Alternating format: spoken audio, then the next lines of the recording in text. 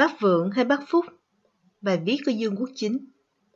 Theo các tiêu chí chọn tứ trụ mới nhất, thì ứng cử viên Tổng Bí Thư bây giờ chỉ còn Bác Vượng và Bác Phúc thôi. Mỗi bác có thế mạnh và điểm yếu riêng.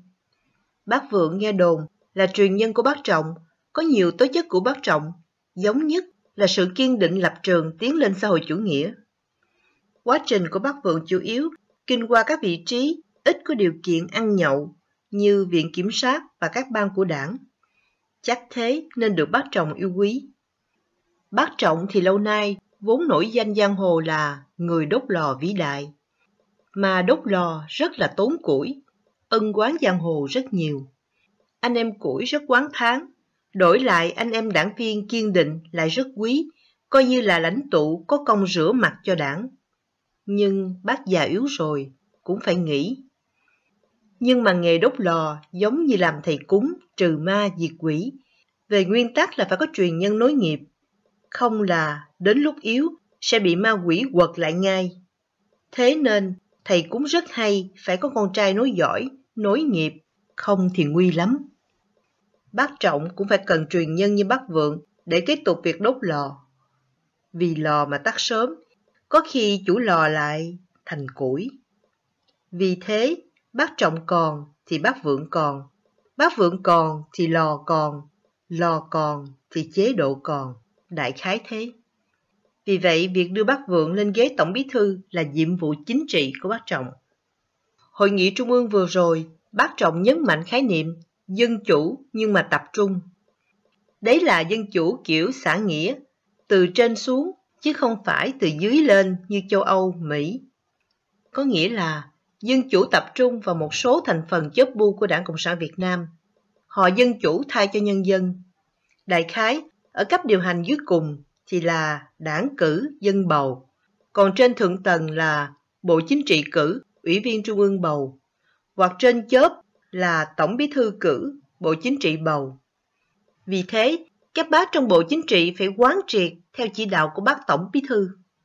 Tuy nhiên, bác Vượng lại có điểm yếu là ít kinh qua nhiều chức vụ lãnh đạo, nhất là lãnh đạo địa phương. Thường là bí thư tỉnh ủy. Về luật lệ của đảng thì bác Trọng đã vô hiệu hóa vấn đề này rồi, vì chỉ yêu cầu kinh qua chức vụ lãnh đạo cơ quan trung ương hoặc địa phương là đạt chuẩn. Nhưng nói chung, tâm lý các bác khác thì vẫn muốn lãnh đạo đảng cũng phải trải qua chức vụ bí thư tỉnh để cọ sát với thực tế, chứ không chỉ biết có lý luận.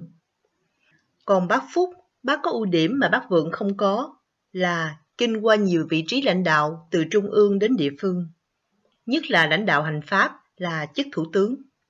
Bác còn có ưu điểm nữa là không làm gì cả. Chủ yếu bác hóng anh em bên dưới theo dư luận rồi lựa mà quyết mà chém chỉ đạo anh em. Với vị trí tổng bí thư, ưu điểm lớn nhất cho sự phát triển quốc gia chính là không làm gì cả. Không làm chính là cách làm tốt nhất. Vì đảng mà làm nhiều thì lại chết dân. Nhưng mà ưu điểm đó có khi lại thành khuyết điểm trong mắt bác trọng. Thế mới éo le.